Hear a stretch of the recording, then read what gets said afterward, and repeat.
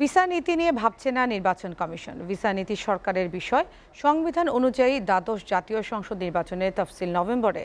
আর জানুয়ারির প্রথম সপ্তাহেই নির্বাচন হবে বলে জানিয়েছেন নির্বাচন কমিশনার মোহাম্মদ আনিসুর রহমান। দুপুরে গাজীপুরের শ্রীপুরে কয়েকটি ধাপে দুই লাখ পঁচাশি হাজার ভোটারের মাঝে স্মার্ট জাতীয় পরিচয়পত্র বিতরণ কার্যক্রমের উদ্বোধন শেষে গণমাধ্যমকে কথা জানান নির্বাচন কমিশনার। এছাড়াও তিনি বলেন, বিএনপির সাথে সংলাপের আর সুযোগ নেই। তবে সুষ্ঠু নির্বাচনের জন্য আলোচনার পথ খোলা রয়েছে।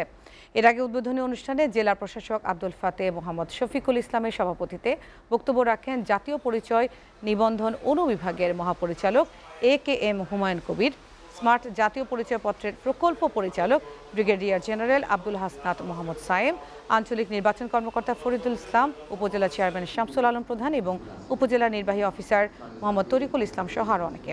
পঞ্চম ধাপে শ্রীপুর উপজেলায় স্মার্ট পরিচয়পত্র বিতরণ করা হয়। এরপর কাপাসিয়া উপজেলায় স্মার্ট কার্ড বিতরণ করবে এসএ।